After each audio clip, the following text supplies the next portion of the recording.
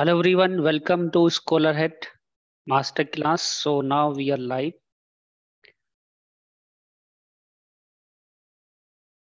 So today masterclass is very interesting. It's all about how to get a job into the product-based company. I'm sure many people are interested to get a job in the product-based company like we having Microsoft, we having let's say Meta, we having Amazon and many more. So of course, when it is coming to the product-based companies, into the product-based company, they ask mostly data structures over there. So you should have the better understanding about the data structures. They look for the people who are good in the problem solving skills.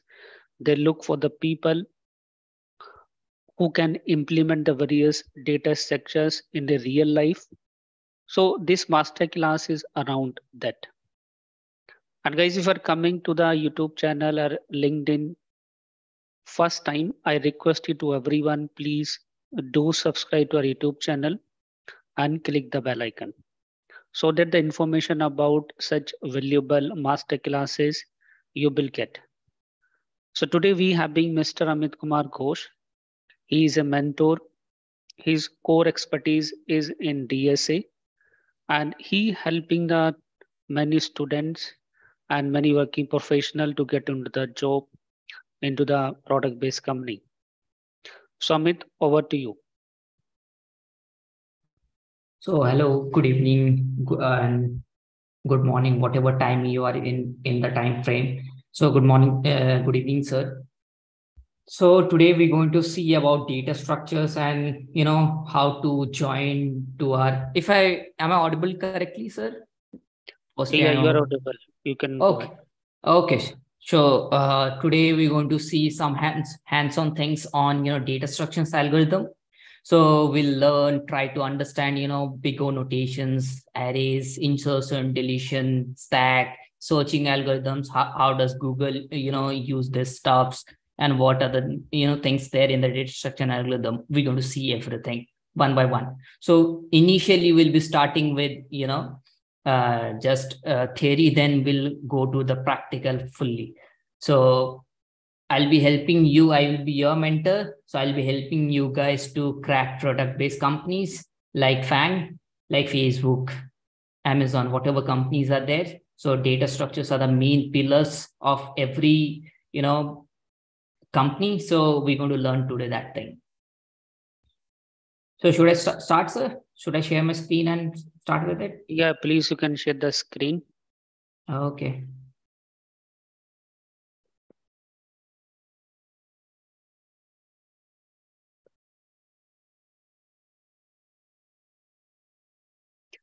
And one more thing, guys, what other queries you will have, you can keep asking through the chat window. It's available to you. And please take the notes in between so that whatever the learning you having from this today session, you have in your written format. Because what I believe, if you're not taking the notes, then there is no learning from that session because soon you will forget everything.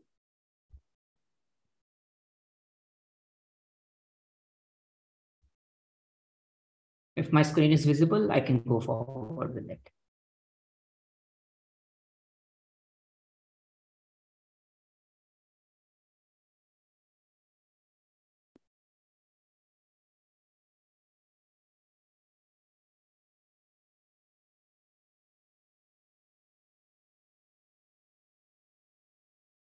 My screen is visible, right, sir?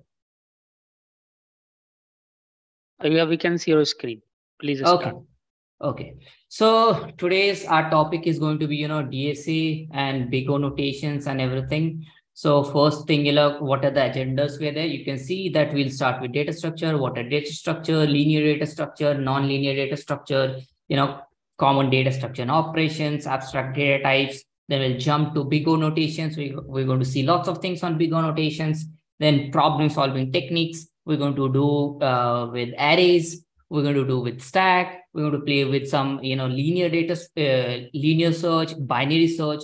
How does, you know, searching algorithm works? We may see like if you have time, time, we'll see sorting, everything we're going to go forward with it. Okay. So about myself, you know, myself, Amit Kumar Ghosh, I am, you know, working right now in a USA based company that is on blockchain. So in blockchain industry, I do work and by side, I am a mentor. I do teach people and I help people to get their like to product based companies so and i'm also working as a you know ceo for a web3 media company that is also there based in france so i'm working there also so i'll be teaching you guys everything we're going to like everything we're going to go from very basics very you know low level to and we'll understand each and everything working of everything all right so moving forward so we'll be using visual studio code today will be uh, if you uh, like... I'm sorry to interrupt. Can you start the PPT in the presentation mode? Okay, sure.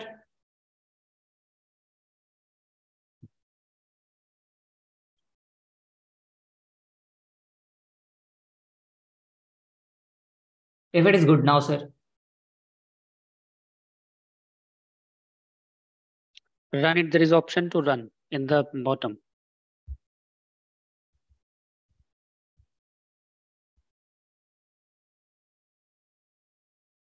I'm saying the slideshow. It, it, it's whatever, not whatever the option you were using before that was fine. Share the complete screen. Can you share the complete screen? Sure, I can share the complete screen. Yes. Now I'm... go to the right hand section. Just below the logo, there should be a button to play. Can you make this, uh, no, the zoom toolbar, just make to the top. Just click on this zoom toolbar at the top level. Yes. Are you talking about here? Okay. Should I approve it? Yeah, yeah, please.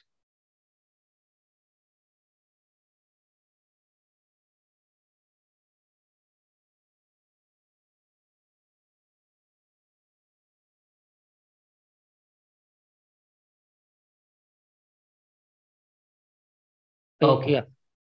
Should I go forward? Yeah, please go ahead. All right. So starting with, you know, uh, this is going to be our agendas and everything. So I already talked about that. So I'll move forward next.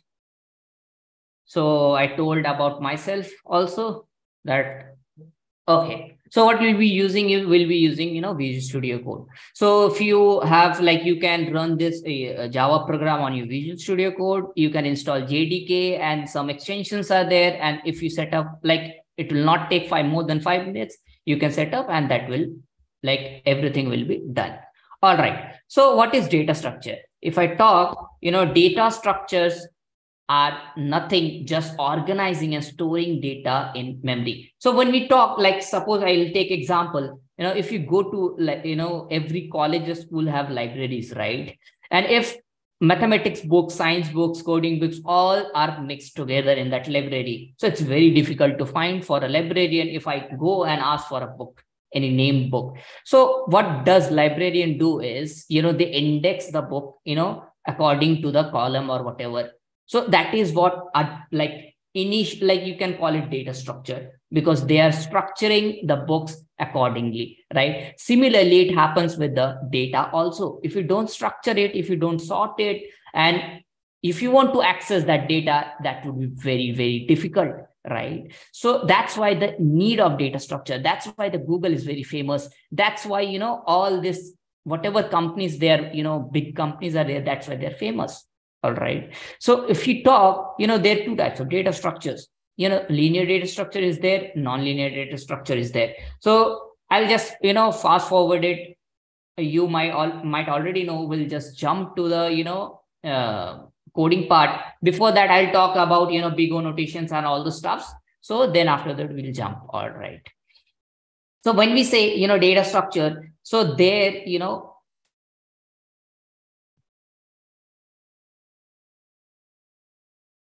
Anything happened, sir?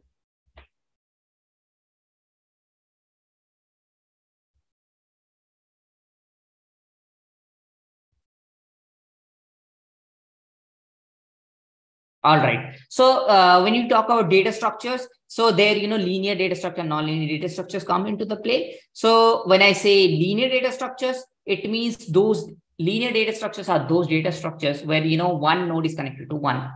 So that is what linear data structure is. So we'll see, you know, arrays, stacks, queues, linked lists. So these are all the data structures and their use are very, very different. So when we take not talk about nonlinear data structures, that is trees and graphs, there, you know, more than one node can be connected. So that is what nonlinear data structure is. All right. So we'll learn that thing also. So linear data structure, already talked about that, you know, arrange the elements in a sequential or linear fashion. It means one node is connected to one node only. So that is what linear data structure is. So when I talk about linear data structure, there you can further divide into two parts.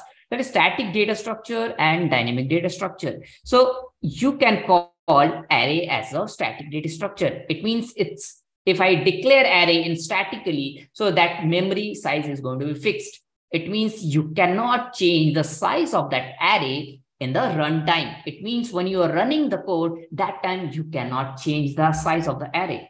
Similarly, dynamic data structure are there. So you can change the size of that, you know, data structure in a runtime. So linked list is there. That is dynamic data structure. So linked list is there. Trees are there, you know, queues, stacks, hash tables, you name it, all those data structures, you can change the size, you know, memory size in a runtime environment. All right. Moving forward, next, that is nonlinear data structures. We already talked about nonlinear data structures in which trees and graphs, tables, these are the nonlinear data structure. Okay, I'll try to take, you know, I'll try to show you think what I mean by this. I'll try to, you know, all right.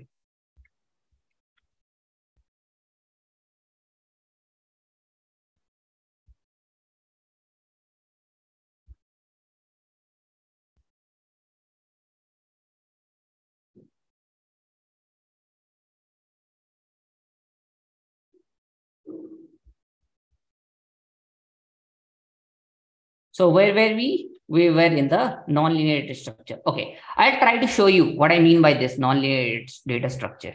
So if I take pointer, so nonlinear data structure is means suppose this is one node is there, all right? So this node will be connected to multiple nodes. So that is nonlinear. So in case of array, what happens is, so array, suppose let's say this is defined this way. All right. So this is continuous memory location. We're going to see that insertion deletion in an array. So it's zero, zero index one, two, three, four. So here what happens? This, if I call this as a node, this is the first node, it is connected to only one node only. So this is linear data structure. When I say non-linear data structure, it means this one node will be connected to more than one node. So you can see two nodes are connected. It can be three nodes. So you can see this kind of structures in trees in graphs. So there when more than one node is connected, that is what nonlinear data structure is. All right, I'll just remove the things and move to the next part.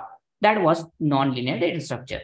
Okay, so what are the advantages of, you know, data structure algorithm? So Data structure algorithm is language independent. So today we're going to learn with Java, but you can learn with JavaScript, C++, C Sharp, any language you can choose. And because data structure is nothing, this is just logic building and stuff. Nothing is that, right? So it's language independent. You can understand, improve logic building, improve problem solving approach. So you can solve real world problems and you could do optimization of the code. So that will you know cater what?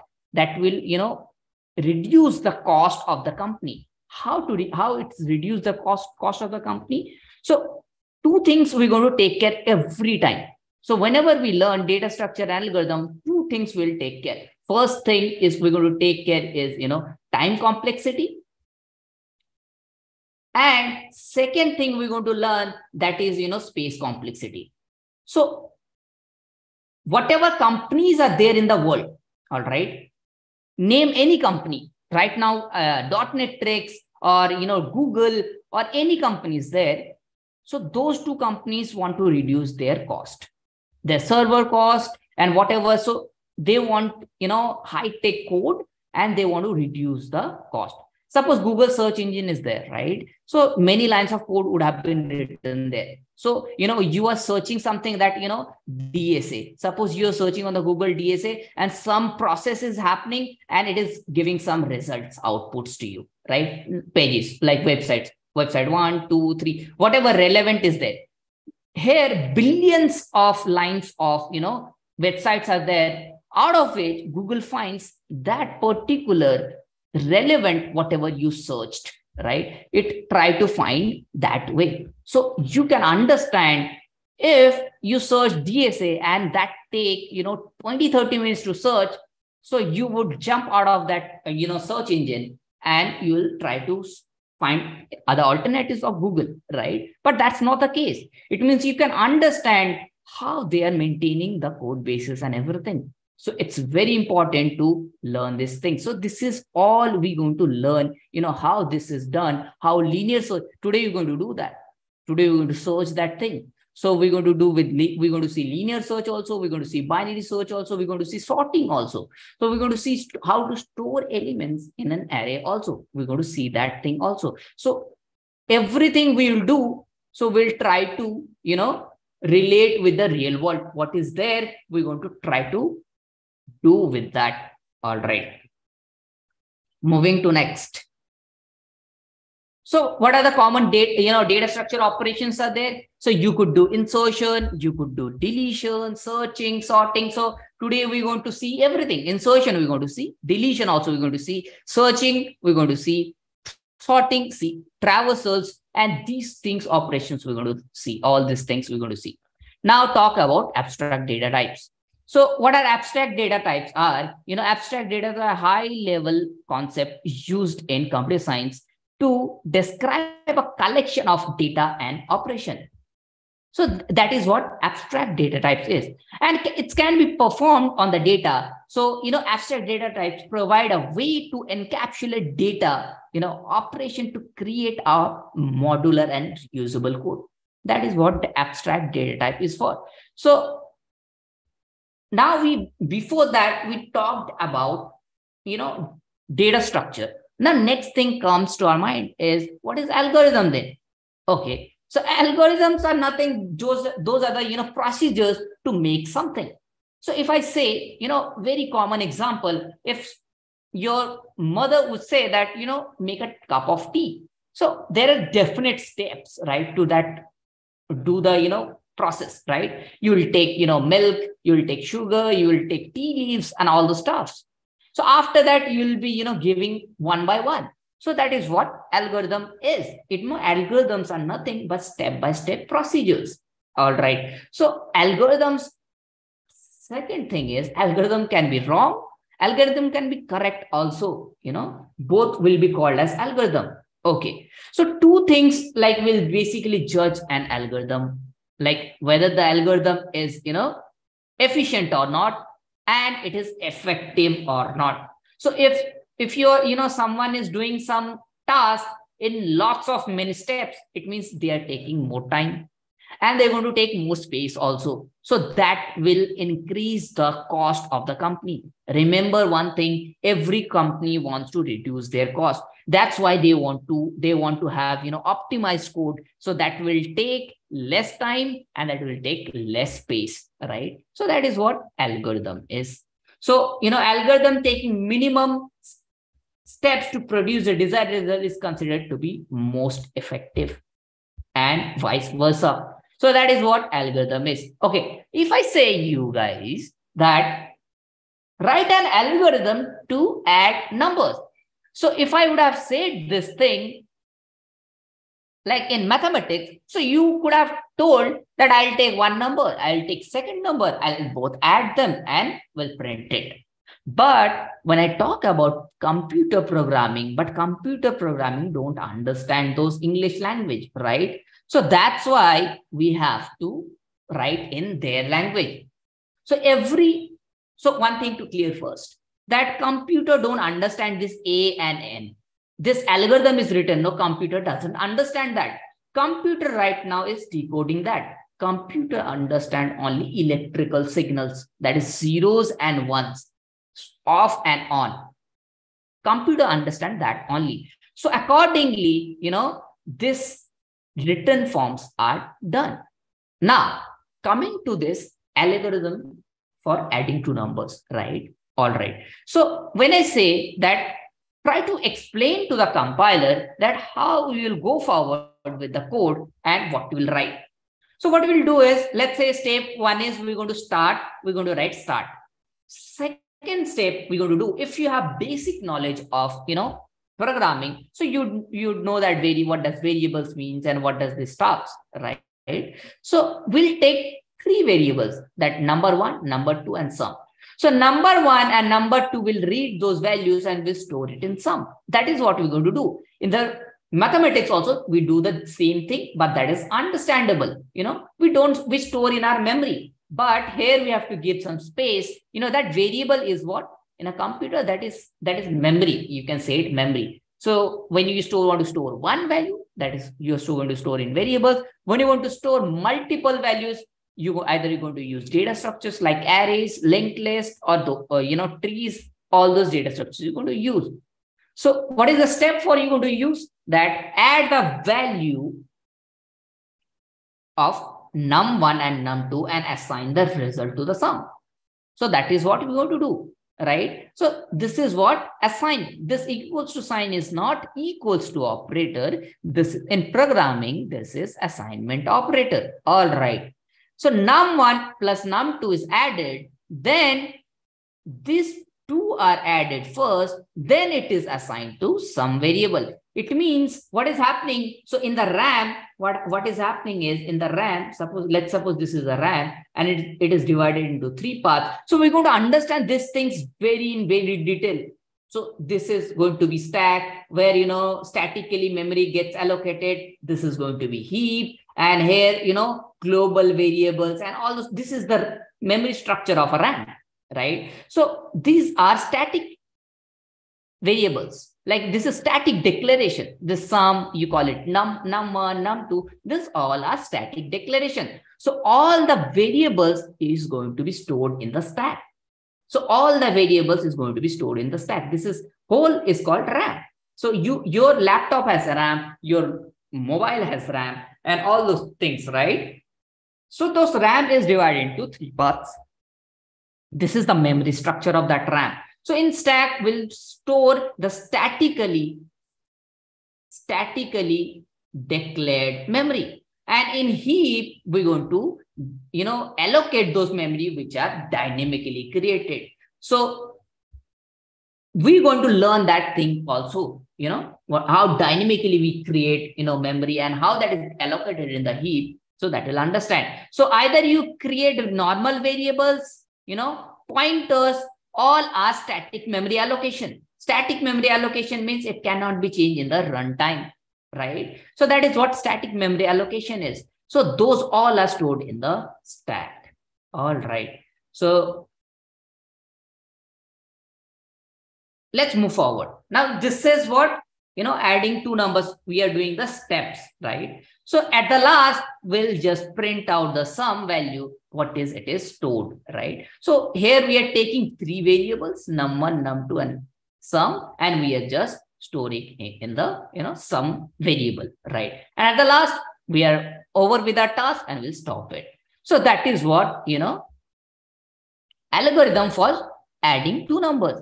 All right. Now, when we say algorithm analysis, I already talked two things. Like whenever, wherever you go, which company you ever you go, you know, there only people will talking about two things. That is time complexity and space complexity.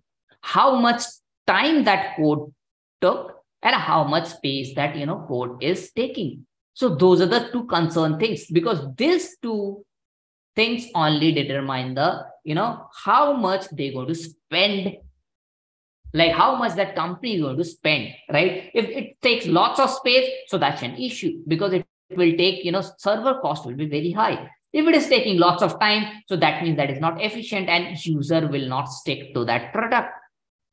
if Google search, you know, if you're searching something and it is taking five minutes to search that, so you would jump to another, you know, platform, right? So that is what, you know, we're going to see. All right. So when we say algorithm analysis, so we're going to see, you know, how, what are the uh, types of algorithm analysis are there, you know, and we're going to learn one by one. So we're going to learn about, uh, you know, O of n, O of log n, O of log n log n. What are those means? You know, omega complexity, how to, how to determine the stuffs. We're going to see everything. All right. So three things is there. You know, worst case is there, best case is there, and average case is there. So uh, worst case means it is going to take, you know, execute maximum time, you know. So that, uh, that, that is the worst case. It means your code is not, your, it's just working, you know, it is not optimized. And best case is it is very, very optimized. All right. Moving forward. Now, when you talk, you know, asymptotic analysis, so this is all about asymptotic analysis. It means worst case, best case, and average case. Uh, you know, average case is there for a code right? So if we move forward again, we denote this, you know, if, if the code is best or not, we understand by asymptotic notations. So big O notations are there, omega notations are there, and, you know, theta notations are there. So we're going to use this notations to determine whether the code is, what is the, you know, you know, what is the code algorithm, you know, is it worst case? Is the best case? What is the quality of that code? Right. So we're going to learn about, so generally you can do with omega notations also, you know, theta notations also, but we'll move forward with a big O notation. We say is big O, that is capital O, right? So, you know, if you go forward, you know, um, to measure, you know, water, you use liter, right? So to measure, you know, code quality, we use these notations. Basically, you can understand that analogy. All right. Okay. Now moving forward, you know, big O notations. So there are various notations are there, you know, O of one complexity, O of log n complexity, you know, these are nothing, these are just graphs. So we're going to understand those things one by one, you know, how these graphs and all the stuffs. So the, you know, big O O of 1 means it's going to take constant time. So O of log n, it's going to be logarithmic graph will be there. So you have learned in mathematics, right? So this n means what? It is going to be linear. So we're going to understand each and everything one by one and going to take one, one examples for that. So it is already taken. So, you know, you, you can see here, if I say O of 1, it means this graph, you can see this graph it's you know constant. It is constant for like it uh, you your input as you giving input it doesn't matter at all. Whatever inputs you give time complexity is going to be constant throughout. So when you say logarithmic so it's going to be printed in a in a logarithmic graph. When it is linear it is going to be o of n. Then when it's going to be you know linear you know linear and logarithmic will be there. So this is going to be used. And when it's good polynomial, you know, uh, n square maybe, you know, square of times. So that is quadratic. You already know, right? And cubic. So that is the graph is going to be used. It means with input, it is going to take lots of time. So, you know, this is the best case. If you understand O of one, you know, with input, it doesn't matter at all so this is the best case. So we're going to understand, you know, we're going to take one, one example for this, you know, so you'll understand better with it. All right. Let's move forward. Okay. So when I say O of one complexity, it means it's running in constant time. So if I take, you know, one array, if you have understanding, you know, if you take array, okay, I have taken the example. So you, if you see here, we declared an array, an array name is number. All right. So if you have basic understanding of how to create, how to declare and initialize an array, so you'll understand this. So this number is the array name. All right. And that array is initialized with some values in it. I'll change the color for you guys. So it is visible better.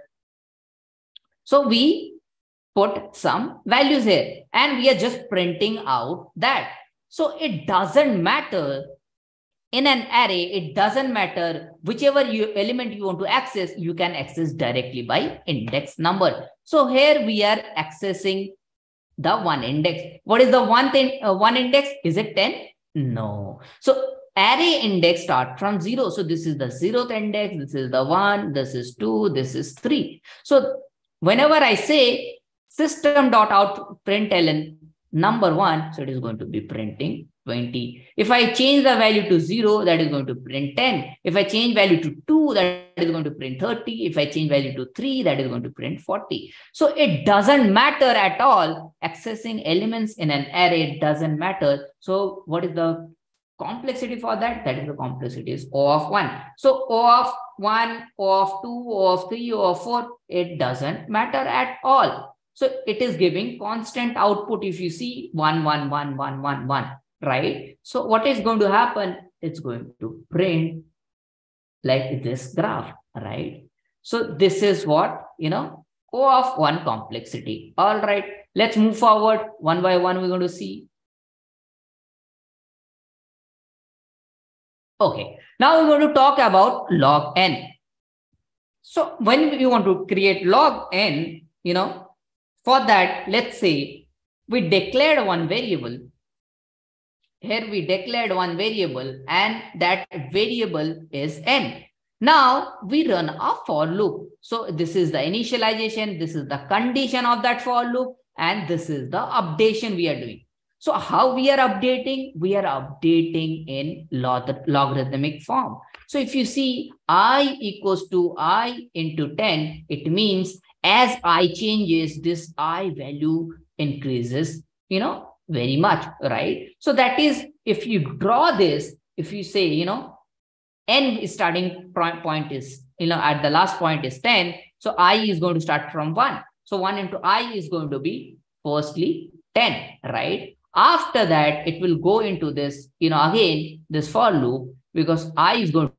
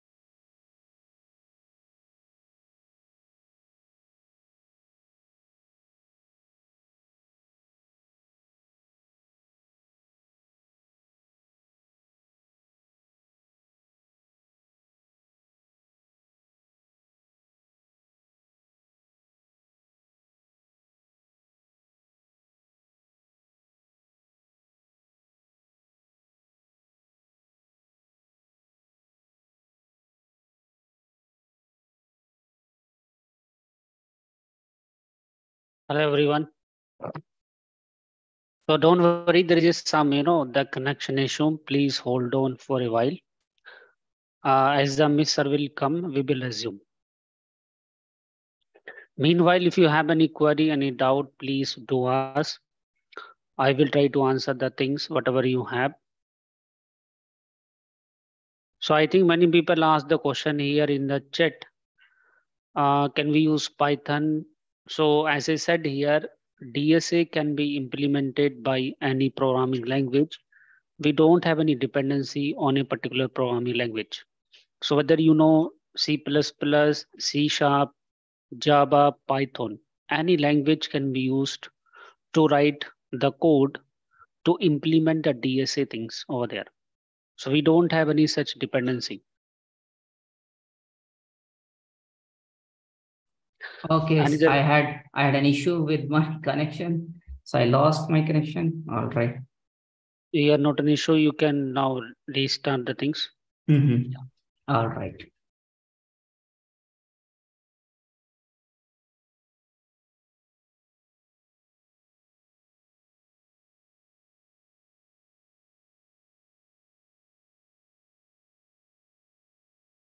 My screen is shared, right, sir? Yeah, it is loading.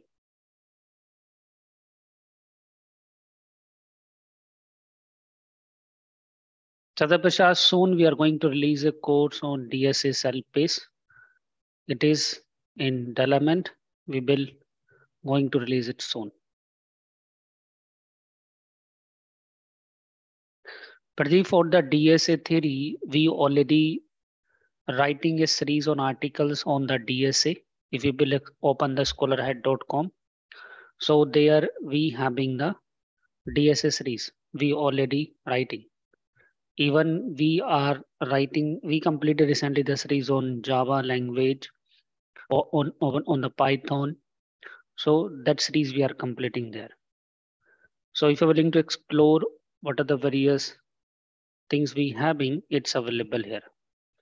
So this is a link from where you can explore all the things about Java, all the things about Python, all the thing about the DSA, all the thing we are putting over there. Yeah, soon we will do a series on DSA with C Sharp as well. Don't worry about that. Everything in pipeline. Hopefully in a couple of months, we will release it.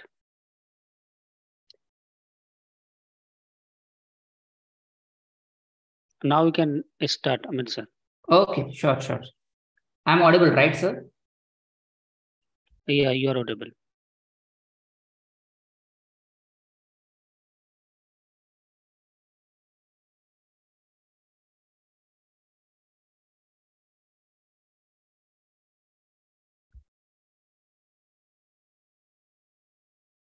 Okay, so where were we? We're in the logarithmic, you know,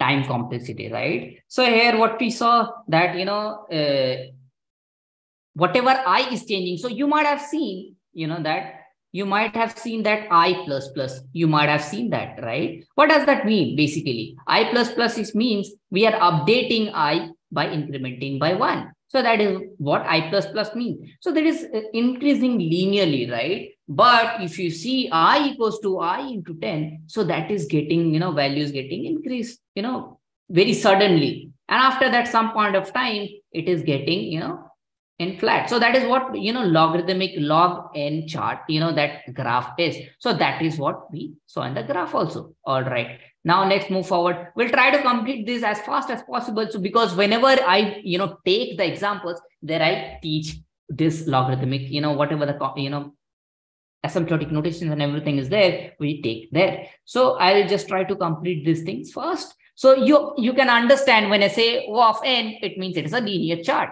You can see. So if you see the graph is constant with time. So if I take one, let's say here, what, what is the example we are taking? Here we have taken a number variable and that's a, you know, array name basically that variable storing multiple numbers you can see right so what it, what it is doing is it is storing multiple numbers. All right. So now this is the initialization of that from where we are starting. We are starting from zeroth index. So 0, 1, 2, 3, it's written. So number dot length, what is the length of this array? That is 4. Basically 4 is written here. And i plus plus, i plus plus means i equals to i plus 1, right? So you can see it is increasing i equals to i plus. So i is starting from 0. So firstly, i will be 0 because when I write 0 plus 1, that is be, sorry, not 0. Basically, it will be what? i will be 0 plus 1. So 0 plus 1 will be there. So this is in the first iteration. In the second iteration, what will happen? i will be updated to 1. Now, 1 plus 1 will be happening because one in from the previous, this one, we are inputting it. We are writing i equals to i plus 1, basically, right? Next thing, we again, we're going to write 2 plus 1 because this 1 plus 1, 2 will 2 because 1. So you can see this is 1, this is 2, this is 3, and so on, 4, 4, 5. So that is what, if you draw the graph, that will be, you know, linear graph will be coming. So from this code, you can see that it's a linear graph is there. So this is about, this is all about the complexity of linear time complexity. All right, let's move forward. So when we say linearithmic runtime complexity, so when we say, we already saw that n linear and logarithmic. So when we apply both things together, that is what linearithmic runtime complexity. That is O of n log n. So you can see this complexity in whenever we talk about merge sort, you know, quick sort, heap sort. So there it's the, you know, this, you know, thing comes there. All right. So this is what linearithmic complexity is. All right. Basically, what is happening here, you can see these two for loops are running. First for loop is going till n, right? So it will take first for loop is going till n. So this will take O of n, right? Now, in the second loop, you can see this is kind of logarithmic, isn't it? So it will take log n. So when we multiply both, it will give n log n. So O of n log n it will give. So you can see this example in merge sort, in heap sort, quick sort. There we can see, we'll understand that things. Okay. Because our course is very hugely, you know, it's very comprehensively defined for a beginner's level and who want to switch to, uh, you know, SD, whatever program. So they want to do, so they can also do that. All right. Okay. Moving forward next. Now, we'll talk about polynomial runtime complexity. So this happens basically, you know, it means of, you can say quadratic. So right now, if we see here, it is working as, you know, polynomial, you know, runtime complexity because first one is running till n, second one is running till i. So here, you, if you see n to the power c. So here it's quadratic. It's 2, you know, n square basically. So this is the complexity of that, you know, n square. All right. Similarly, you know, exponential runtime complexity is there. It's very, you know, if I take this recursion, because recursion take lots of memory, you know, so, uh, you know, this is finding Fibonacci of number. We have defined that Fibonacci, you know, functions that this is the, okay. You have, if you have basic understanding, this is the base case, right? When, because we know the Fibonacci of one and zero, right? That is zero and one, right? We already know that. So this is the base case for that. If you have basic, if you don't understand also, that is completely fine because we're going to learn these things one by one all right and this is what recursion to call recursion call with the different parameter n minus 1 n minus 2 here actually n is the parameter we are adding and we'll calling this function again and again. So that will give the exponential runtime complexity right? So it, it will take you know lots of time as the input increases all right let's complete this as fast as possible then we'll jump to you know how to do insertion in an array, deletion in an array, and all those stuff.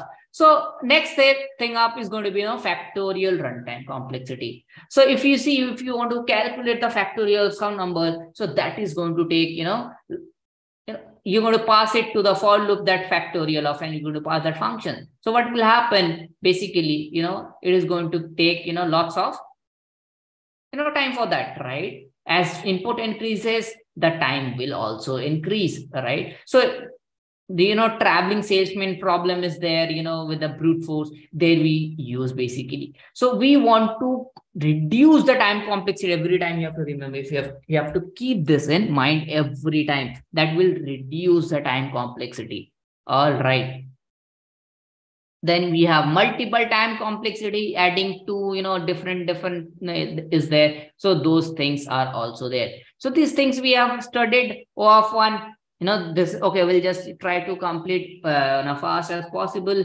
that you know accessing element from an array that is o of one because that will not take any time. Linear search in linear this is going to see today. Today we're going to see binary search we're going to see o of log n. These things we're going to see Okay, selection sort we're going to see n square. This complexity is going to see. This is we're going to see. This we're going to see. This we're going to see. This we're going to see. All right, and rest are also there. So as we move forward, heap sort is there, merge sort is there. Everything we're going to understand each line. So what we'll jump into the basics of everything and we'll move to the, you know, advanced concepts. All right. Now moving forward with that. Okay. So there are various different techniques are there. So we're going to use everything, all the techniques one by one. You know, dynamic programming approach is there, greedy algorithm, two pointers, sliding windows, binary search and everything or lots of other things are there. So we're going to jump to the, you know, different part and we're going to understand one by one. All right. So this is the ending of, you know, one first slide for us.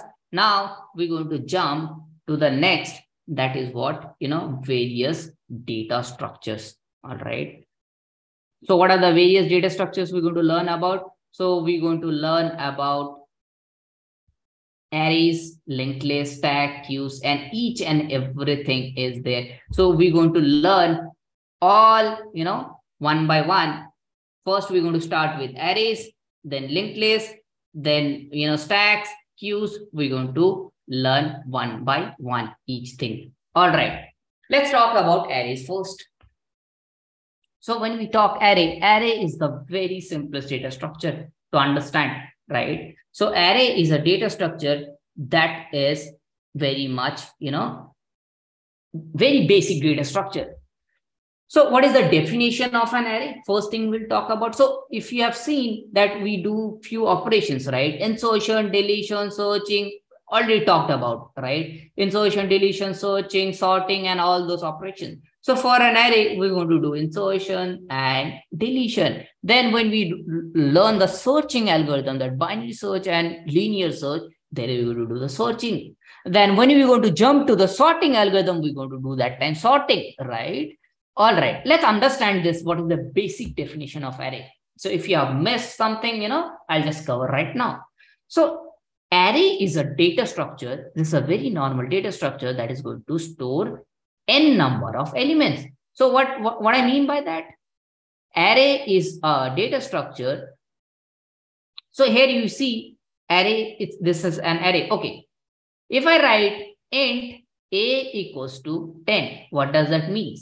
It means a is a variable that is integer type that is storing value 10, right? It cannot, A cannot store 10 and 20 at the same time because it is going to store only 4 bytes of memory. That is integer this 10 is getting, right? Now, problem, why we need array? First, we'll understand that, right? So, when we found that, suppose we want to, suppose one college is there, there are thousand students are there and their marks we have to store somewhere. So we'll not create thousand you know different different variables for that student one student two student three and those marks will be stored so that will be very difficult task isn't it? So for remembering for human you know to interact with that that is very difficult task isn't it? So there come arises the you know use of array. So there we what we did you know, we created a data structure that is going to store multiple variables.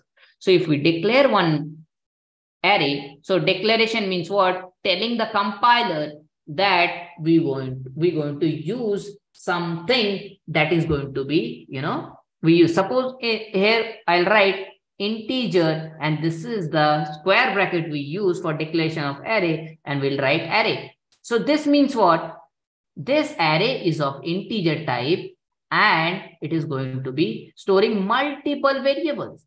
So if you here you can see 6, 8, 4, 3, 2, it's storing, right? So that is, this is what declaration. It means you are telling the compiler that don't give error if I write ARR as the name of the array and we are storing multiple values in it, right? This is the, this is what it means basically. All right. Now, after that, we initialize with some values that, you know, one, two, three, four, five. Suppose you are initializing it some with some values, right? It means you are declaring and initializing at the same time, you're storing the values in the array. And after that, you can access with the index. This is zero index, one, two, three, and all those things are there. Okay, let's understand one thing that in array definition, that arrays are stored in continuous memory allocation. So it means, what does that mean? So when we, this you will understand when we'll see the difference between array and linked list. So you might have heard linked list also, like that is also a data structure. But in array, what is there? If suppose this address is 1000, this has to be 1004. This has to be 1008 and this has to be 1012 and so on. So if you see the size is getting increased by four bytes, it's also getting increased by four bytes. It's also getting increased by four bytes. It's also getting increased by four bytes, right? So why it's in getting increased by four bytes? Because this array is of integer type. And we know if you have basic understanding of variables and data types, integer, we consider integer as four bytes. We can, uh, you know, consider character to be one byte, right? So that's why it is getting increased by four bytes. So when we say it's a contiguous memory location, that means that it means you store six here. After that, you definitely have to store four, eight here. You cannot skip this position 104, one, you know, 1004. You cannot skip this position that you want to skip this place and you want to store eight here. No, you can't do that. That's why it's a continuous memory allocation. Okay. Second thing is array indexes start from zero that you can already see from here. So that it's starting from zero, right? You can see index start is zero, one, two, three. It means if arrays, you know, it's of n elements are there, last index is going to be n minus one index, right? Okay. All right. Next thing is that, you know, it's going to store similar type of data types. So array is going to store same type of data types. What does that mean? If you are storing six here, you cannot store 8.1. You cannot store decimal values here, double float values here. So if you're storing six, you have to put all integers in that array. If you're storing double values, 8.1, 8.2, so yeah, you have to store all the double values. If you're storing character, you have to store all the characters. That is what the basic definition of array is. All right. So this is the, you know, basic definitions of array. So in this array, you could do, you know, various tasks, isn't it? You could insert element at certain position. You can delete element at certain position. So you could do those things.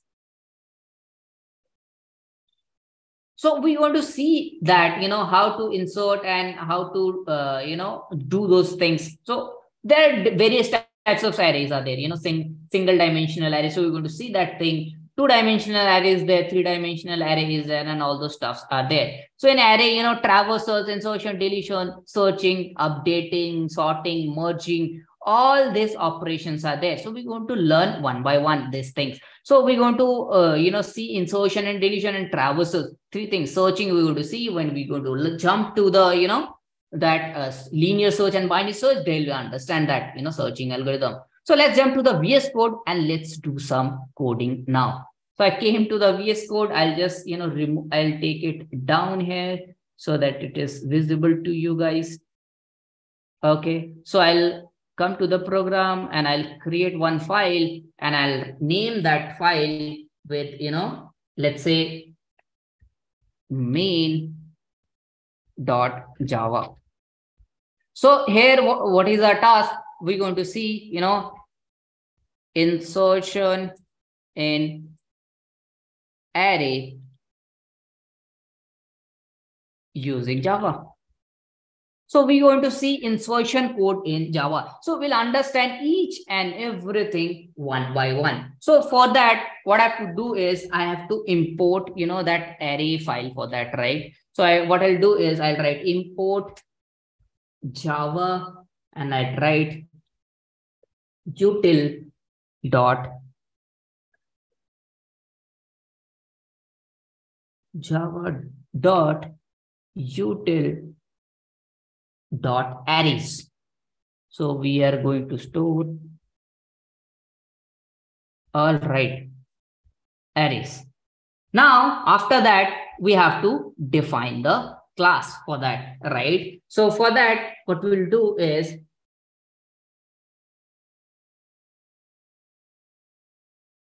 will define a class.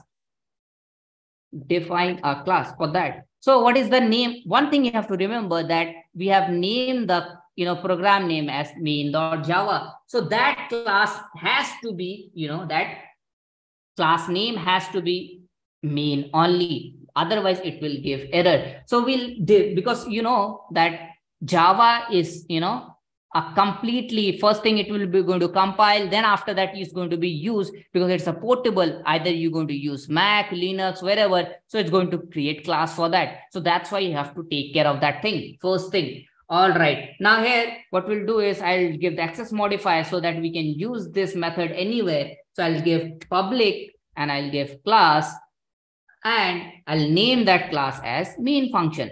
So this is either you call it method or function both are completely fine, right? So inside this, you know, main method, we're going to write each and everything. All right.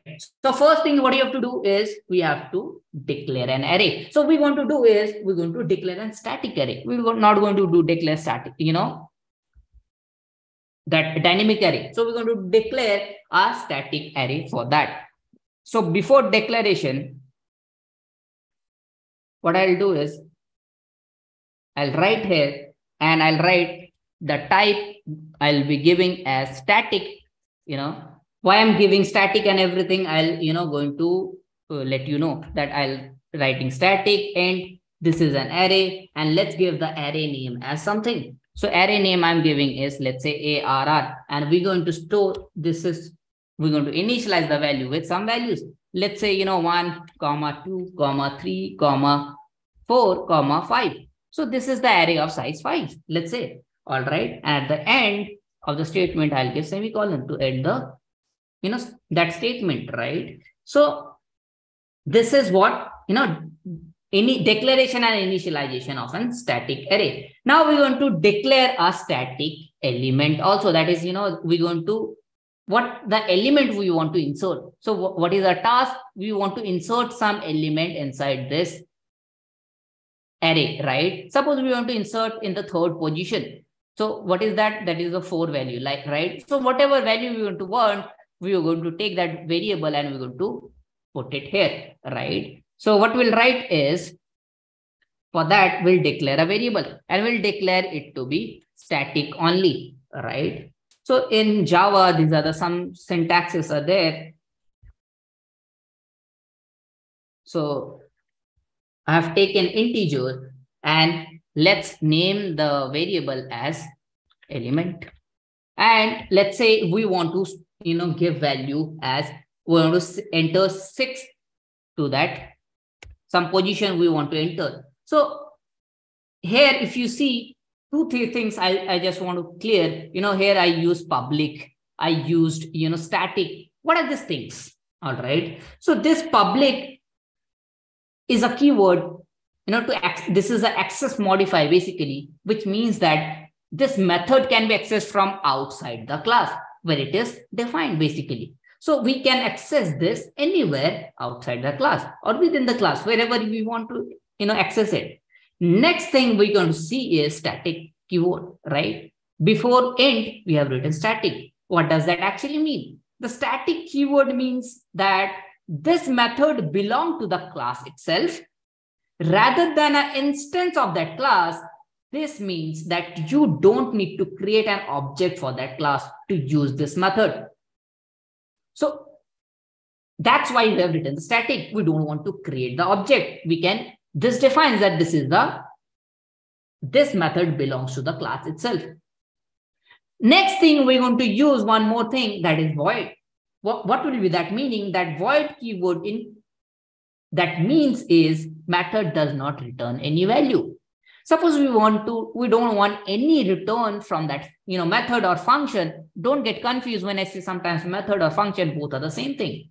So when I don't want to return anything, that time I'll write void. So that that is you're going to see again, like, you know, when I'm writing that void and things, so that is you also going to see that. All right. Now, what do you have to do? We have declared that variable. Now, what we'll do is we'll declare the main function, basically the driver code where the coding starts, like basically where the code starts reading it. So here is the basically driver code. So in driver code, we'll be starting with the main method or main function. So we'll be writing the access modifier. We want to access it from anywhere. That's why we'll write the access modifier as public Then after that, what we'll do is we'll give static again. So this from this class, you know, we are defining that this is from this method only. You can use it. All right. So I'll give static here. And after that, what I'll write is I'll give, we don't want to return anything from this main function, main method. So I'll write void and I'll write the main function. So in that main function, I'll pass a string array. String array and I'll write it as arguments AR. This is the basic template you can see everywhere whenever you want to write it. Now, within the parenthesis, we're going to write the logic. Now, where we want to enter the value? Let's suppose we want to enter the value at third position, 0, 1, 2, 3. It means the fourth value. We want to enter some value. That is value is what 6. We want to enter in this position. So what I have to write is, I'll declare that variable int, let's say, position. So this position will do what? We'll write it 3. At the third position, basically, we're going to give that value. That's why I'm writing in position equals to 3. All right. Now, what I'll do is, after writing this, I'll be printing. Before entering the value, before writing the method, what I have to do is, I have to write the I have to print the original array, right? So I'll, what I'll do is I'll print the original array and after that I'll print the new array. So what, what we'll do is I'll write system dot out println. This is the this is how we uh, do the output in Java in if you do with you know c you'll be using printf you if you do using c you using cout these are the things you use right? So print ln and within the brackets i'll say and double quotes i'll write original array. And original array we want to print it right? So i'll write plus, and I'll give arrays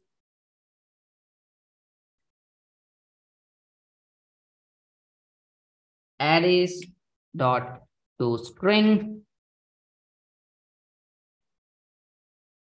and I'll pass the array. So that will print the original array, whatever the original array is. What are what is our original array? Original array is 1, 2, 3, 4, 5. This is the original array. So that will print the value. All right, original values.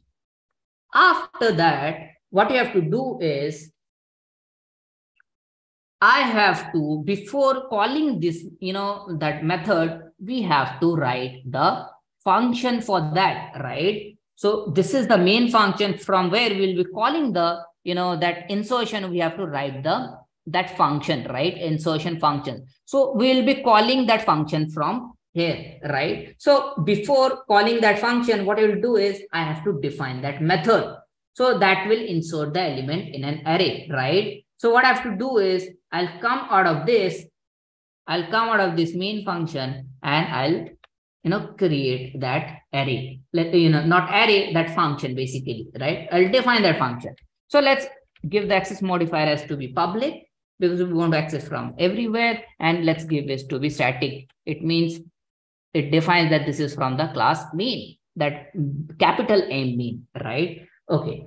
After writing static, I'll declare the in integer type and that's array and I'll write the function as insert, let's say element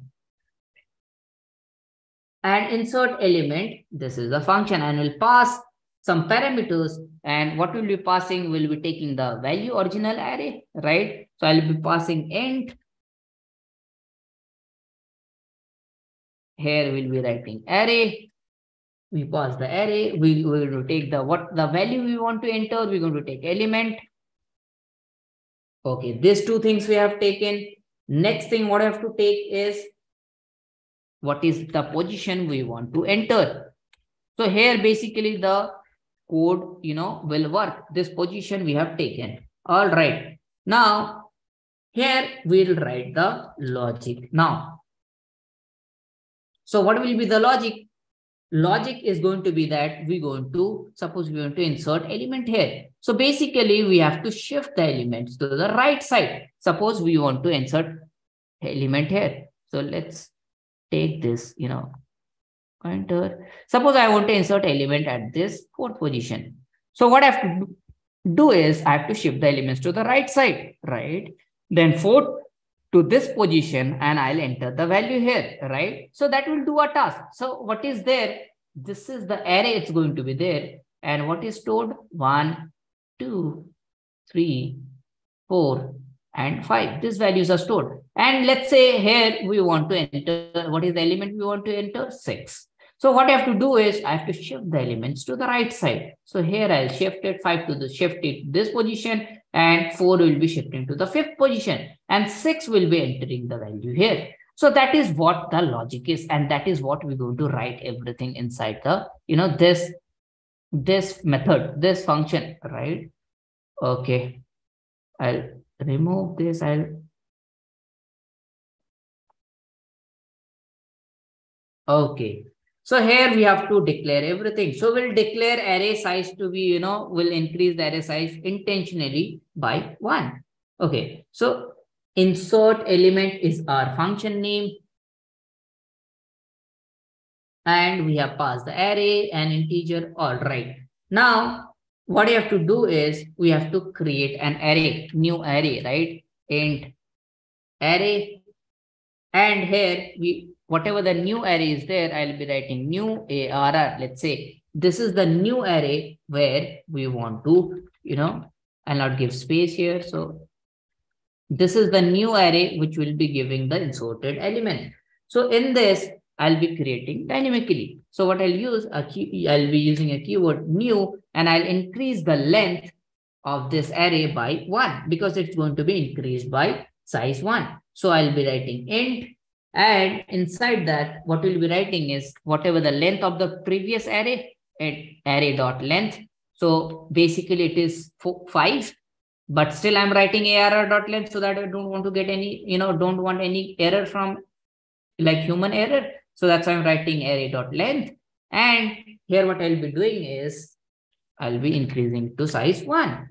All right. So this will increase the size by one and I'll end the statement. Okay, we have created an array that is new array. Now what you have to do is we have to copy the elements from the original array to the new array till the position. Till which position? Position we have entered that is to be 3. We have declared position, right? That is 3. So what we'll do is I'll write system dot array copy. I'll write array copy. And there we have to copy all the elements, right? So what I'll write is we'll pass the array here and from zeroth index we'll be starting we are print we are getting the array in you know new array those elements so new arr and after that zero comma position whatever the position is there till so that position it will be it is going to be entered, right? After this, what is going to happen? We have to enter the element at the correct position. So we have to enter the element in new array, right? New array, new ARR, and in which index? Position index. There we want to enter what is what you have to enter? We have to enter element. So we have entered the element. So we have taken that position and we have entered the value in that new array, right? After that, copy the remaining elements from the original array to the new array. Because till the position we have copied and after we have entered, then we will copy the rest elements again. So again, we'll write the same thing system dot array. Copy.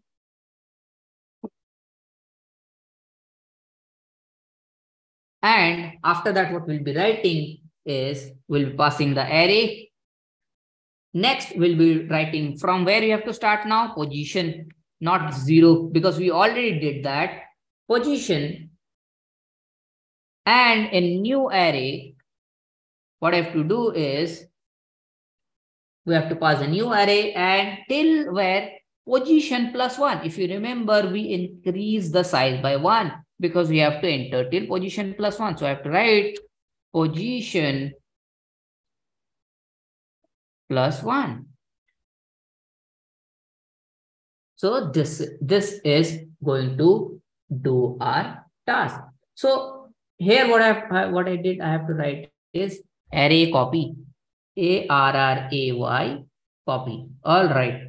So this much is done. Now, next thing we want to focus is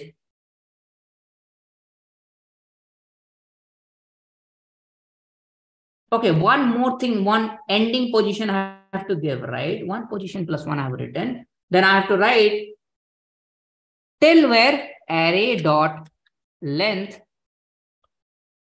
arr dot length minus position.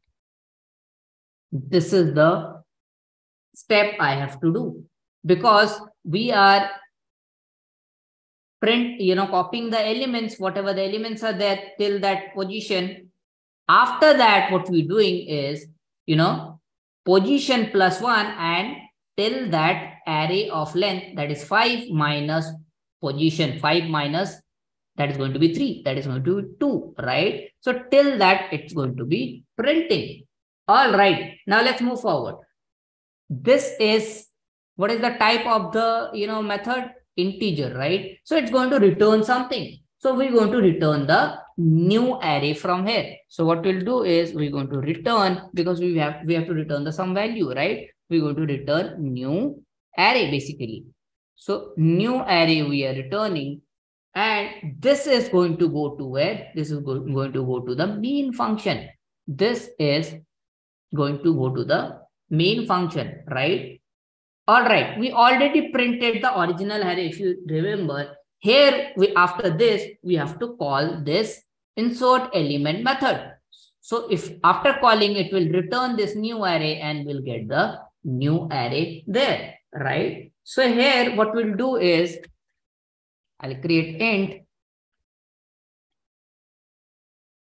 new ARR. This is the name we know we'll be storing this in this and we'll call that function. This insert element. I'll copy this name so that no error comes.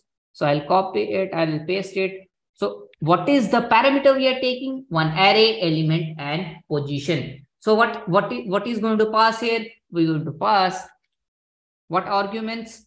Array, ARR, we're going to pass element, and we're going to pass position. Okay, one thing I want to clear. That is, here, when I'm taking, I'm taking this is as, you know, argument. And here I'm saying this is as, you know, parameter. Why? What is the difference between argument and parameter? Arguments are the basically the values that is we are passing. And parameters, when you say those are the variables. So here you can see element is 6, it is getting passed. And when I say position, it is getting 3. These are the values we are passing. So whenever we are passing values, that is what that means it's a argument. Whenever we are passing the variables directly, that is what parameter is. So we are storing this in new array. We are calling this function. So that is new array is going to be stored here, right? Now, after this, what I have to do is I have to print the new array again. So for that printing, what I'll do is I'll have to write the same thing. Array dot to string and new array. So for that, what I'll do is I'll copy this, you know, statement and I'll come it here and I'll paste it. And instead of original array, I'll be writing new array and arrays dot strings. Here I'll be calling, you know, new, I'll be passing what? New array. Now, this is all about our code, right? This is, you know, we have we have initialized one uh, array. Then we have to, what element we have to enter? Six. Which position we want to? Three. This is printing the original array. Then we are calling this function where we are print, you know, copying the first element still, you know, three. Then we are entering four. And after that, whatever the elements are there, we are copying those elements. This is what we are using, right? I'll hit control S here and I'll right click here and I'll try to run the code. So when we run the code,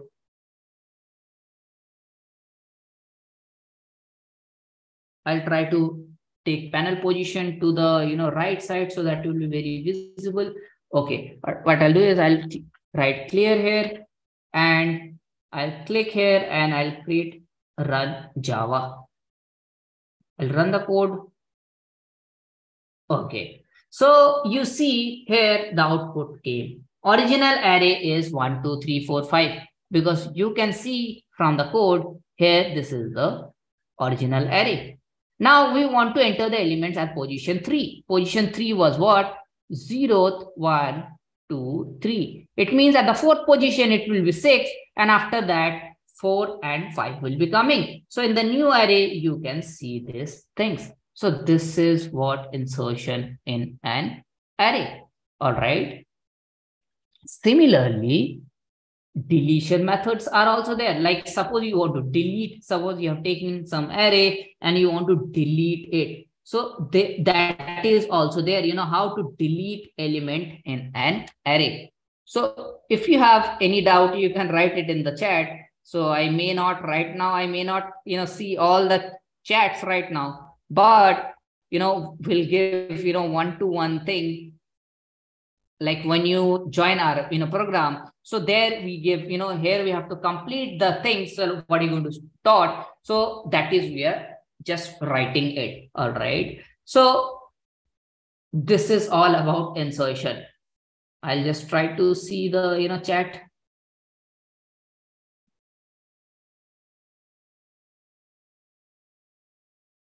okay great great so we'll try to take these questions you know uh, because we have very less time, we have to teach lots of things.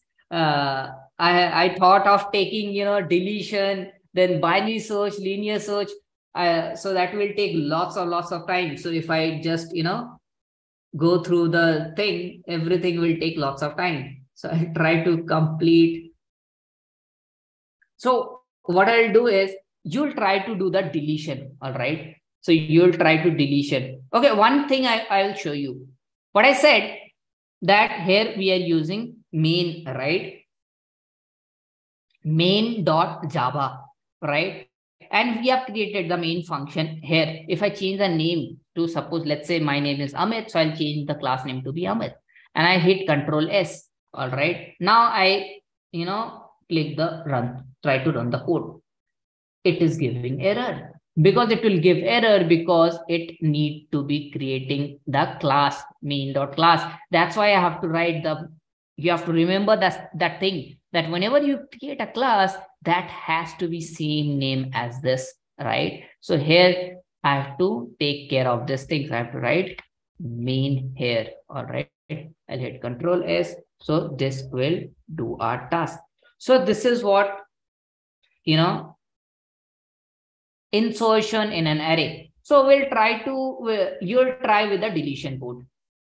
I'll try to take the linear search and binary search if possible. You know, I thought of taking, you know, stacks, linear search, binary, lots of things there. You know, I thought of taking uh, selection sort also, sorting algorithms, we'll see. But I, I see, you know, time is already, you know, 419. So we have to, we have till maybe, you know, 20, 30 minutes left uh, for that, you know, I'll try to cover linear search, right? So you'll understand what does linear search means. I'll try to teach you what is linear search. How does Google work in searching? So you'll understand that thing also.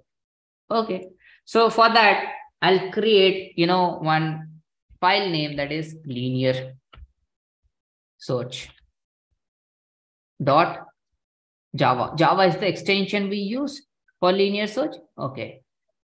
So if we already see it is creating the, you know, class name linear search that has to be, otherwise it will give error. So it's already created public class linear search. It's fine. So what, what do we want to do in this linear search? Suppose, suppose basically our array is going to be there one array is going to be there and some values are there. So let's say this is the memory for Google and Google storing some at, you know, um, lots of websites, right? One website, two website, three, four, five, six, seven, until billions of website, maybe whatever. Now you search something. You go to Google, you search DSA. Now Google will go to its database and will try to match this keyword with this sites. With the sites. Billions are there, right? Now you search Google uh, uh in the DSA and you see results are coming within 0.1 seconds. And they have huge number of websites still they're giving it in very fast result right? How it's possible because of data structure and algorithm that we already talked about. All right. Now when we search dsa that has to say whether that in the da database DSA is there or not. Suppose i search jklmopq if i search this some big keyword and that is not there in the google that will say that it is not there. Or it will try to give the similar looking like this. Like it, it may consider that this is a coupon code or something or whatever. And suppose I write any extra number of, you know, letters. So that time Google show that is this is not present. So that is what we're going to see right now. If it is present or not, so that in by linear search, linear search is also called a sequential search. It means one by one, we're going to you know, search that array. So for numbers, we're going to see, so one by one, we're going to search and we're going to see that what is, what other things are there, right? So for that, what, what, what are the things we have to do? We have to declare the main function. So that is the driver code, right? So what I'm writing is public the access modifier we want to access from in, uh, everywhere so i'll write the public i'll give it a static that uh, you know class to be main function to be, you know, static. All right. And I'll write, it will return nothing. So it, I'll write void and I'll write the main function, main, and I'll pass the string array, string array and args. So this is the basic template we have created. Now what I have to do, we want to find that whatever array we are declaring, and we want to search something that is there or not. That is what we want to do, right? So for that, we'll create a linear search uh, function. There we're going to write the logic. Before that, we'll you know set up the things that if it is there or not, right? So for that, we'll declare one array. So int, I'll declare on one array int that's of that's uh, array is of integer type and array name is ARR, let's say. And we'll, let's say we'll initialize with some values, 67, 34, uh, 56, 90, you know, or let's say, let's take it very, you know, simple. Like, let's say 10, 20, 30, 40, and 50. Let's say these are the elements, five elements we have taken in that array, and we want to search something that that element is there or not. All right. So what I have to do is we have to define a key. So I'll declare one variable and I'll initialize with, let's say we want to find if 30 is there or not. We want to search in that array if 30 is there or not. We can find that 30 is already there, right? So what we'll do is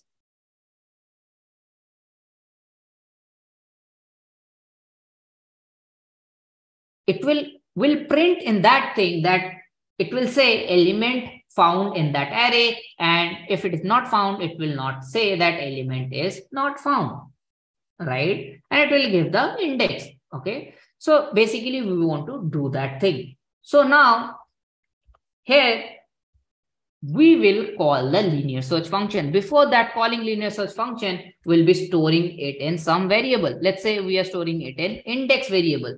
And here we'll be calling, we'll be creating one function that is going to be linear search. And in that function, what are you going to write? Let's create linear search. And here what we're going to do is we're going to pass the, so two argument we are passing array and key. So basically we're going to see these are there or not, right? So when we call and when we print the results, so that either, you know, that index is, now it is going to print uh, that element is not found or element is found, right? So that is what it's going to print. So for that, it's, it's a if else statement, isn't it? So if it's a if else statement, so I'll write if statement and in this if statement, what I'll write is if index is equals to minus 1, that time we'll say that I'll write system dot println and everything. System dot out dot println I'll show you some shortcut to you writing this right now. I'm writing full thing so that you, you know, practice to it. That's why I'll show you shortcut also. That is completely fine.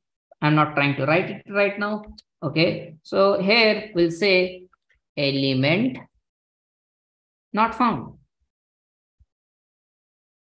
So is it possible anytime that index is going to be minus one? array index starts from zero. It can be never be minus one. It means this execution is going to happen, right? So what it means is when it if it is not found, so it will say, you know, never it will match to it. So it will say not found. Otherwise, in the else, it is going to write that thing, right? So we are writing in that way. So in the else, what we'll be writing is Okay, if I write sys out, you can see directly it is writing. So what, what is the, you know, short form of it? So I, if I don't have to write system dot out dot so I'll write sys out and I'll tab and hit the, you know, that thing and it will be getting me the, you know, right, writing the whole thing. So here what I'll say is element, element found at index. And what is that index? We also print it. So I'll give plus and that is that index. That is index is that variable, right? We are storing it. So it will print that. Okay. Now this is the calling of that function, right? So what we'll do is till here main function is here. Now we have to define the method that linear search is. Linear search is going to be searching one by one. We're going to, this is a very costly method. We don't use it. Like it will take lots of time. It will take, you know, this is not very feasible, this linear search. So that's why there, there comes the binary search, right? So here what we'll do for this right now, we'll create linear search function, linear search method, right? So I'll give access modifier to be public because we want to access from anywhere. That's why we're going to give static. A, you know, we're going to access it from here. That's why we're writing it and we're going to write, you know, it's data type is going to give giving the linear search uh, function data type is going to give integer. It means we're going to return something. All right. And what I want to write is we're going to write the function name. So function name is linear search and in that, what we are passing, we are passing array and key. If you remember from above, here in the line number five, here we pass array and key. So here, I'll pass int array. And after passing the array, we'll pass the key, int key. So these are the parameters. If you remember what I said, parameters and difference between parameters and argument. Parameters are those which are variables and argument are those which are, you know, actual values. So in this line, these are arguments because array, we are passing this array 10, 20, 30. Key, we are passing 30. The actual values we are passing to it. All right. Now here, this is the linear search function. So what I have to do, we'll loop through the, uh, you know, whole array and we'll compare one by one to the key. If we found, we'll return. If we don't found, we'll, we'll say, no, return minus one. Basically, we're going to do that, right? So for that, what I'll write is one for loop. So inside that for loop, what we'll do is I'll start from int i equals to 0 and i is going to be less than array dot length. Right now, what is the length of our array? Length of our array is that is 5, right? So it is going to write 5 actually. All right. Now after that, I have to update it also. So I have updated it. Next thing what I have to do is I have to compare each elements with the key. Each elements of the array with the key. I'll compare 30 with 10. If it is equal or not, no, it's not equal, then move forward. 30 is equal to 20. No, it's not. So to move forward, 30 is equal to 30. Yes, it means we found this element, right? So we're going to compare. How to compare? We'll write the if statement. And in that if statement, I'll write the array of i. If array of i is equals to key, this is checking one by one. This is not recommended, by the way. This is very costly process. Here, what we'll say? Here we'll say return i. It means we are returning the basically which index, right? It is going to, I'll say the flow of code also, all right, return i. Okay, now this is the end, this is going to be the end of for loop. Now, if we don't find it, if we don't find the thing, so what we'll say, return minus one, because if you remember, if you return minus one, it will say element not found. So here we'll write return minus one this is all about just right now i'm going to do what? I'll just walk through the code. Let's walk through the code. So this is what this is the whole module of it. All right. Name is linear search. So we have written the linear search.java okay one thing. Now this is the main function. And this is the whatever the logic we're going to write this is that function basically. This is the linear search function this is linear search function and this is main function.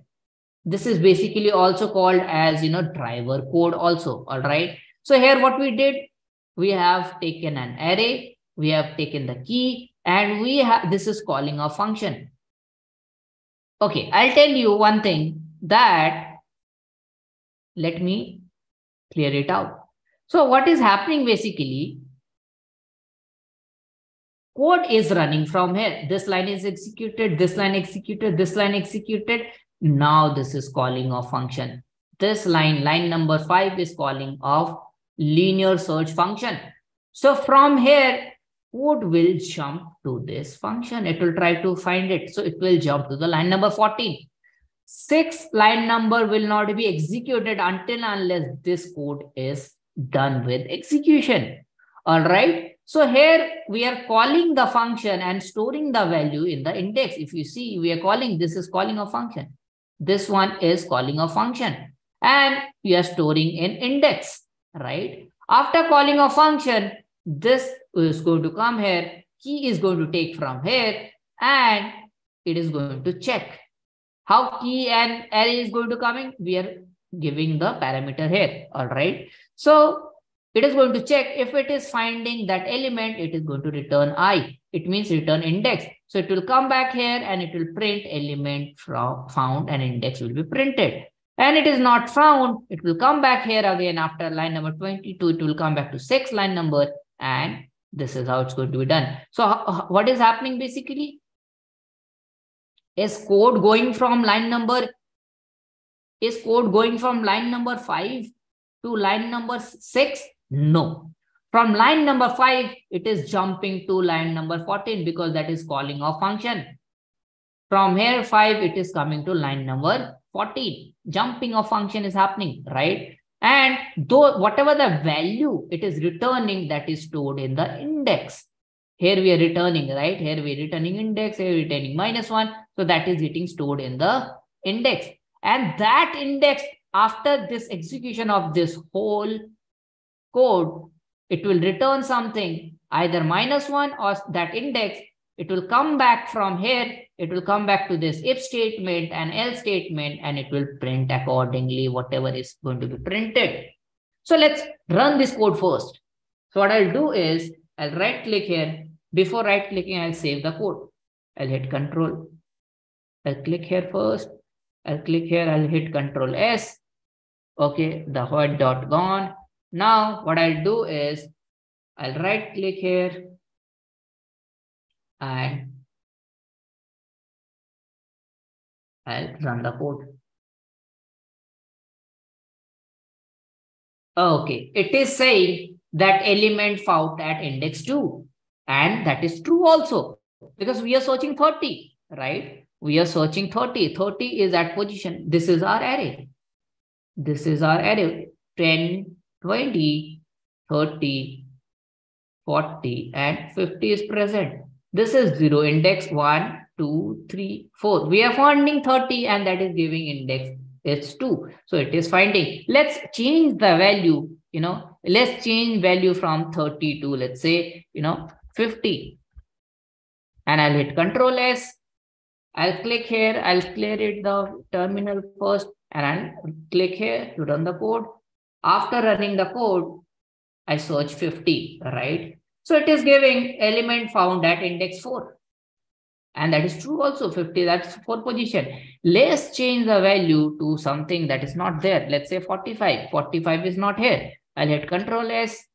I'll click the code here and if you see element is not found, it is printing, right? So this is what linear search and this is what, you know, searching, whatever the searching things you do, this is how it is done. So this is not efficient though. This because if the array element has billion numbers also it will compare try to compare each and everything one by one so that is a costlier process so that is not recommended that's why we use you know binary search so in binary search what we do basically we divide will name the starting point ending point we'll divide the array into two parts then we'll try to find if it is there in the right side or in the left side then we'll divide again that into two parts and that way it will improve our complexity of code. That is time complexity and space complexity will be improved by that code. This is what, you know, this linear search is. All right, I'll remove this. Similarly, you can, uh, you know, do with the binary search. Sorting is there. In sorting, what will happen right now? It is already sorted. So in sorting, what will happen? Different elements will be there and those will be getting sorted whenever you write the program. One thing to remember that if you see whatever the way I'm writing, that I'm creating functions, different, different functions, then I'm calling and then storing. So this is the good practice, right? Always create function whenever you write, you know, some code right? Always try to use different function try to create different module. Of the code is getting very bigger then take different you know another uh, class for that and all the stuff you can do it. All right? Now let's jump to there. The ppt so Traversals means what? That printing, that for loop we did, that is what traversals is. Insertion, we saw deletion is going to be same thing. You can try, try it. Update is same thing is going to happen. And search, we already saw. Sorting, we didn't saw because we, we are not left with that much of time. But, you know, these are the operations there. So I'll, I'll try to, you know, go forward, you know, what is the usage of uh, array and other things are there, you know. So, you know, lots it's going to, as I already said, that array is going to store multiple variables, you know, same types, and it is going to solve lots of lots of problems, and it is for CPU scheduling and all those stuff. So let's go one by one, like whatever the topics are that I, will take, you know, talk about few things about those. Okay, all right. Now array was there, but what is the need of linked list? So it's if array data structure was already there, then what is the use of linked list? You can access the element in array in O of time, that O of one time, right? We already saw that in constant time. But if you want to insert element in an array, that is very a costly process. You can understand, right? How costly that is because if there are, let's suppose, one billion num numbers are there, and you want to enter at the, you know, second last element, so it will iterate all that will check for the all the elements. After that, that will enter. So if you want to enter the first position, you have to shift it to the right side every time. So not this one linear search. I'm talking about this, right? What I'm talking right now is then why we needed, like why we need linked list. That's what I'm talking about. So here, if you see, suppose this is an array. Suppose this is an array and it has inf uh, not infinite, 1 billion numbers are there, let's say and suppose one two three four five and so on numbers are there. All right. Now suppose you want to insert at the element at the very first position. So what you have to do? From the last position you have to shift one element to the right side. So that's a very very difficult task isn't it for an array? So that's why we use linked list. So linked list like here we know that all memory are continuous. Continuous memory location is there. It means one after one. It you cannot skip any memory address. If it is 110, 1000, this has to be 1004. That has to be 1008, and you cannot leave any like empty, right? But in linked list, what happens is wherever we get memory, we just link it. Wherever we get memory, we link it. Wherever we get free space, we link it. Here we get free space, we link it. So insertion and deletion in and linked list with O of 1 complexity. So that's very fast. But insertion and deletion in a array, it's very, very difficult, right? That's O of n. Like that many times it has to iterate, right?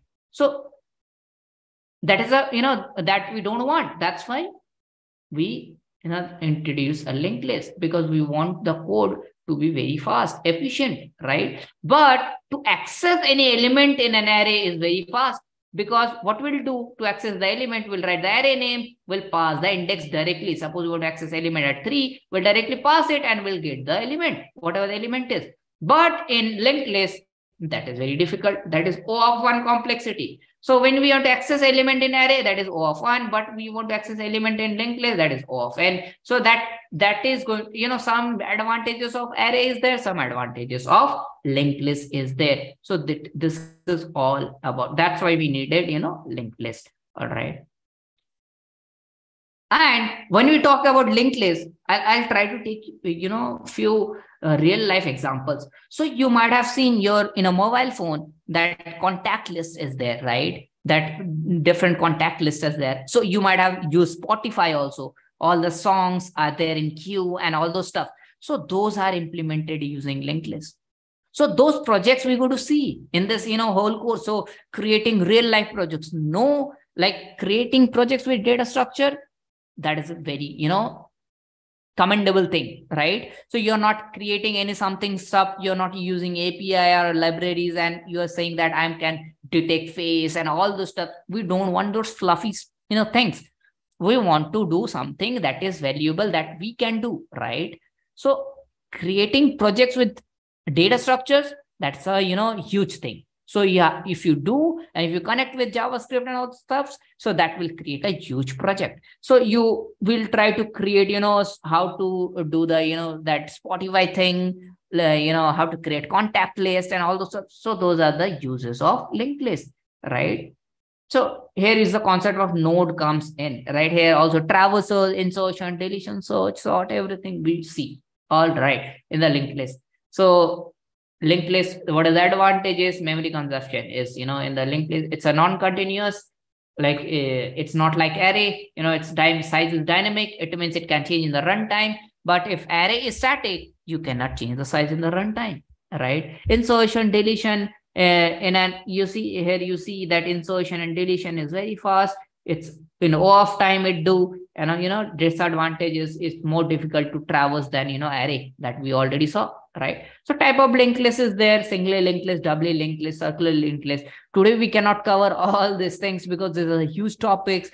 like lots of you know manuals are there you know all the cms everything is there we cover everything each and everything first we explain one by one then we uh, take examples then we do projects. So that holds us you know very you know good. So that that is what we uh, you know we we do right?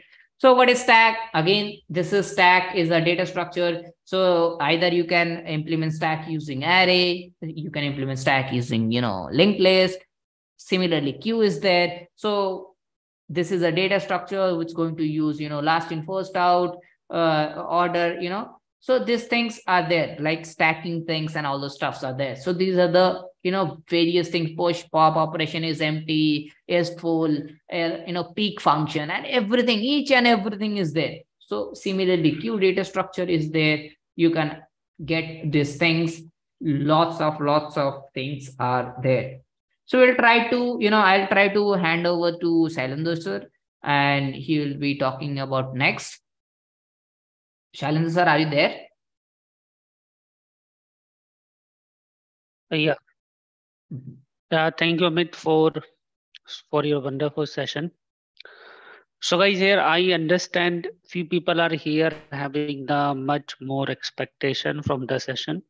But of course, we having a limited time and it's not the case the DSA we can cover only in two hours.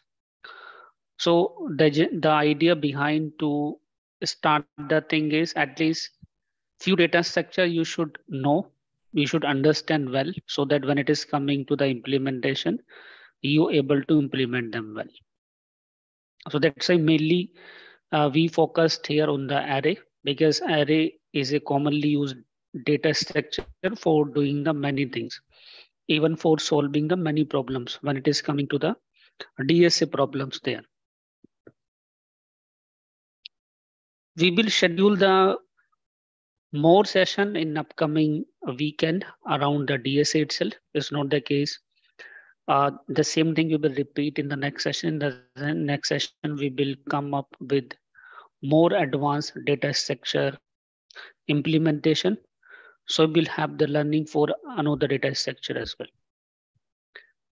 So if you have any query, any doubt regarding this, please do ask. Amit sir is here. They will answer you the things. In between, many people ask about what can be the roadmap for learning the DSA. That oh. I'm sharing with you, the hmm. roadmap for learning the DSA. So that you having the clarity about it.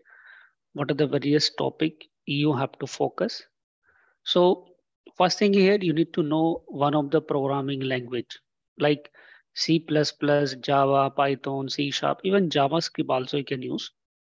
Many people use JavaScript. So depending upon what is your language experience you have, you can pick one of the programming language. This is the first prerequisite.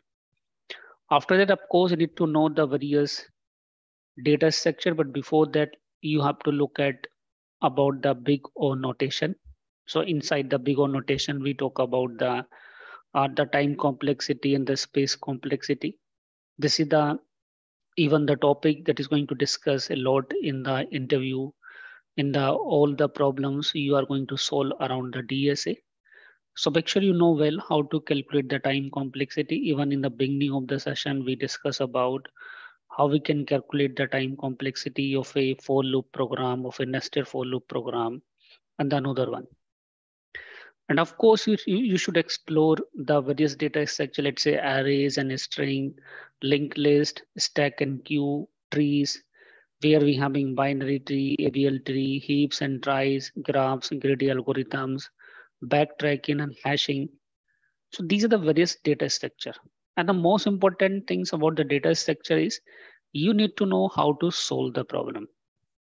Because data structure is all about your approach to look at the problem, your approach to solve it. Even in the interview as well, they always look at how you are attempting the solution of a problem, what are the approach you are taking over there. To solve a particular problem, we can have many solutions. So ultimately, we have to find out the optimal solution to solve that particular problem. So always when it is coming to the DSA, it's all about giving a optimal solution of a particular problem. it's not about only solving the problem. Because for solving the problem we can have many techniques we can have many ways but every solution is not optimal. So always you have to look at the optimal solution. So that optimal solution you will understand by looking at the various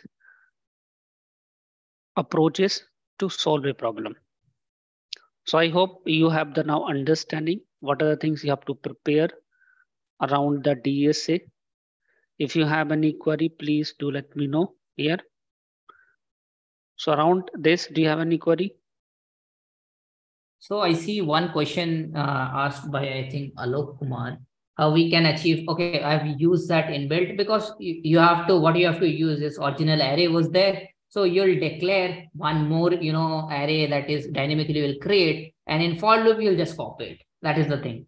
That is the thing you can do. Either you use directly. I didn't use because i i want to keep it you know that logic to be very precise and so that that can be visible. That's why i use that inbuilt function. Uh, otherwise you can if you want to increase the you know like uh, three four lines you can do that. That's completely fine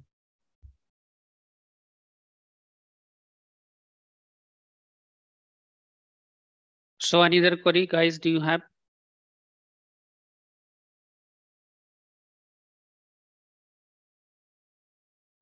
Okay, now few things I need to showcase here. So if you're looking for a joining a product-based company, so if you're looking at the product-based company SDE job, so these are some numbers I just took from the the portal it's indeed.com and we have been the other payscale.com. So there they have mentioned some salary available as an SDE. These are the starting salaries, especially for the fresher for SD in Google, Amazon, Uber, Facebook, LinkedIn, and others. And it's not about they are looking into you should be good in the DSA.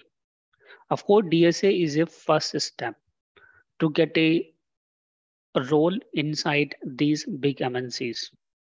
But after that, you have to work over there one of the stack. It can be the stack for JavaScript. It can be the stack, let's say for machine learning and AI. It can be the stack for some other purpose. So that particular stack you must know. So it's not about you are focusing only on DSA.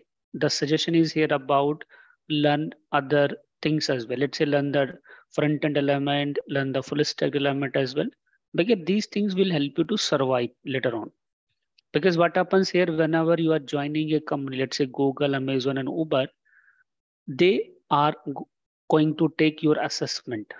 In that assessment, they will test your skill, your understanding on a particular technology.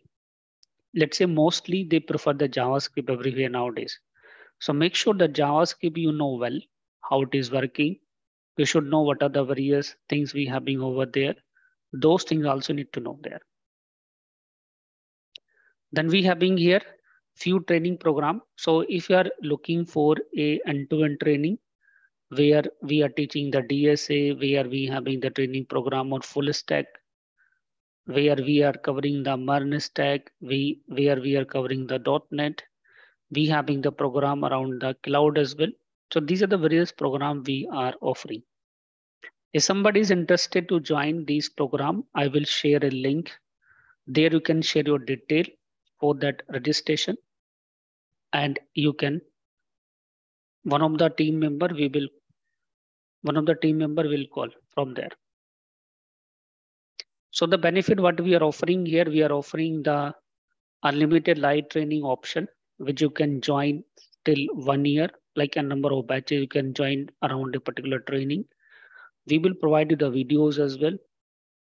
And here you're going to learn by doing the practice because we having the many hands-on labs, we having the many problems which you have to solve so that you will have the understanding around that.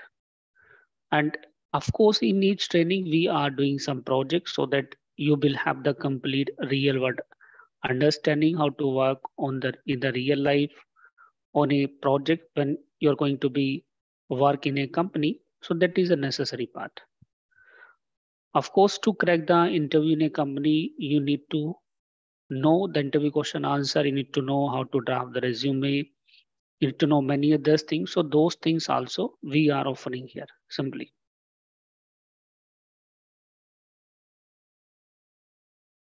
So do you have any query so far regarding this one? I'm sharing the link. If you're interested to join any training program, you can fill up the this Google form and share your detail. One more question I see, sir, uh, from Ganesh that he asked that linear uh, linked list is a linear type or non-linear. Okay, I already told that linear uh, linked list is a linear data structure.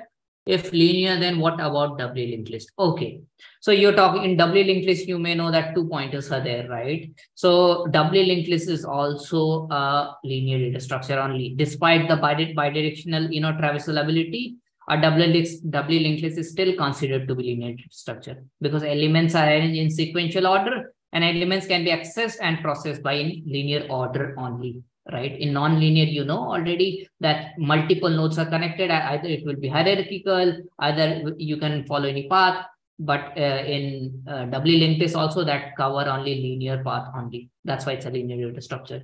Being you know it has two pointers still you know it is a linear data structure only, Ganesh.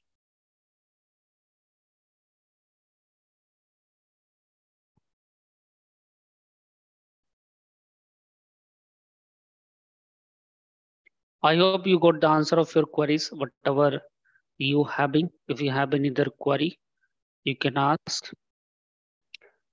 We will try to answer those things. And we will schedule few more master classes around the DSA so that you will learn some advanced data structure as well.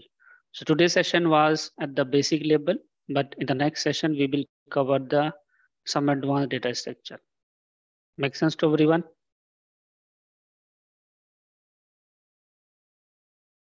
Manoranjan, when it is coming to .NET Advanced .NET, you can join my Friday session. There I will tell you. Today's session, I want to stick with the DSA. So I'm not changing the topic here. Okay. Someday when we will do the webinar and master class on .NET, there I will take your question definitely.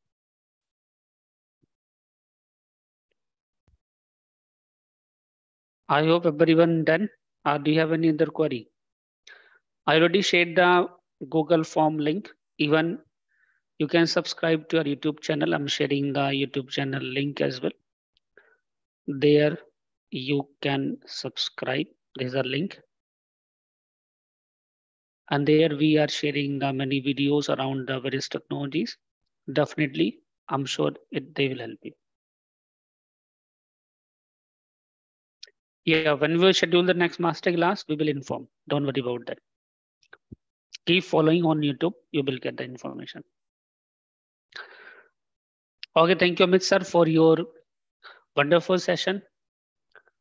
Sure, sir, sure. Thank you all for listening, guys uh, will definitely do you know advanced topics because today was the very new so i you know it, like two hours is very less as you guys know data structure lots of data structures there so in two hours it's not possible to complete arrays then you know you, you have seen that right so not only we're going to see we're going to see lots of you know cool stuffs in linked list also trees graphs everything we're going to see no issues as time passes we'll sir will schedule uh, lots more master classes they will study lots of things